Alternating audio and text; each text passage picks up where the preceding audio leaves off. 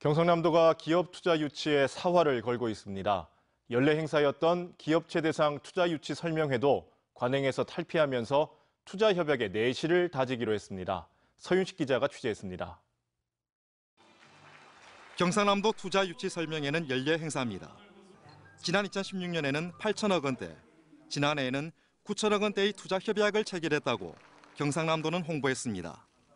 그렇다면 실제 투자 규모는 어느 정도일까? 협약 체결 이후 투자 인센티브로 보조금이 지급된 기업체 투자 규모는 지난해 7개 업체 937억 원, 올해는 상반기 3개 업체 170억 원, 하반기까지 합치면 492억 원으로 추산됩니다. 보조금 지급 대상이 아닌 기업체 투자가 빠졌고 협약의 성격을 감안하더라도 차이가 큽니다.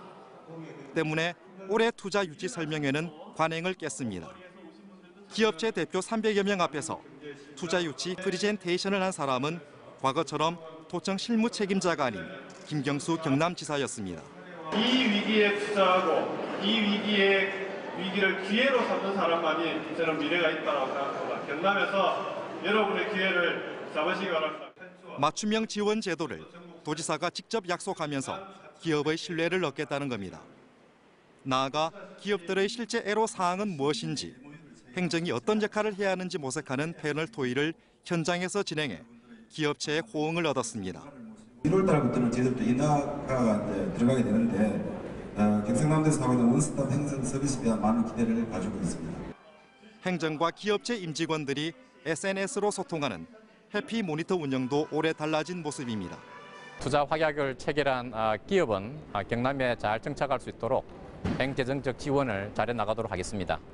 이번 설명회에서 거둔 투자 협약 규모는 지난해의 3.5배인 3조 988억 원. 경상남도가 달라진 접근법으로 협약을 실질적인 투자로 이끌어낼 수 있을지 주목됩니다. MBC 뉴스 선식입니다.